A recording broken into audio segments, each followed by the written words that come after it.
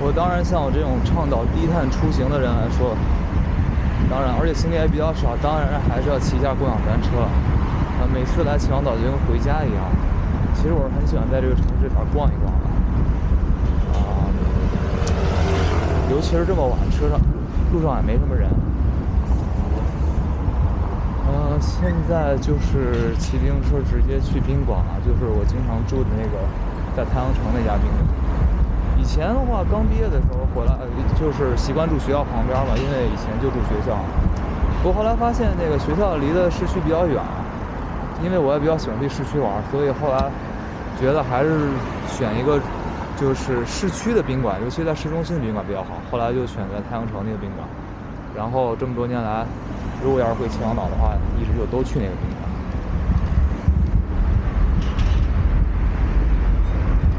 后边那个肯德基啊，以前我也经常来。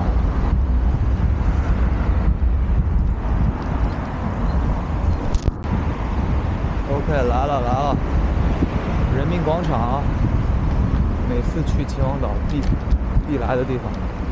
然后旁边这个图书大厦，也是我以前经常来的。我感觉有点玩火，这么走很危险啊。但是我确实就这么走了，反正现在人又比较少。这儿有一个卖临期食品的小摊儿啊。什么是临期食品？就是快要过期的食零食之类的东西。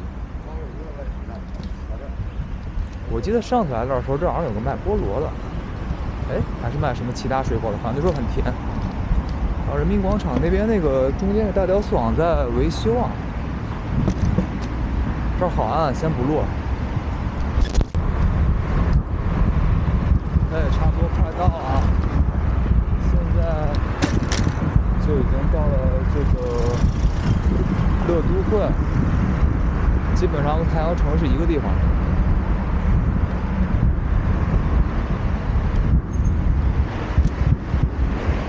其实这个宾馆也是在这个叫做新天地的这么一个商场，在太阳城的就是北边，它和乐都会也是正好挨着。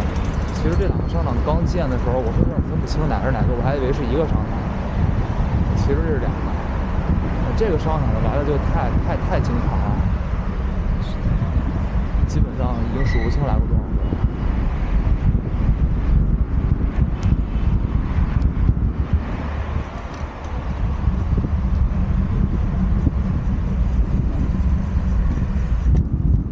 那我就停到这儿了，然后这边这个楼就是商场，然后我就上去了。这边这个楼就是宾馆，我就上去了。今天就这样了。啊，好晚啊！现在估计可能都快十一点了。晚安。